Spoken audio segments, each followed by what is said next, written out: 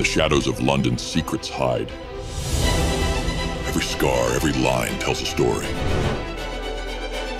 You can run from a lot of things, but not from your past. A man who thought he could start a new life.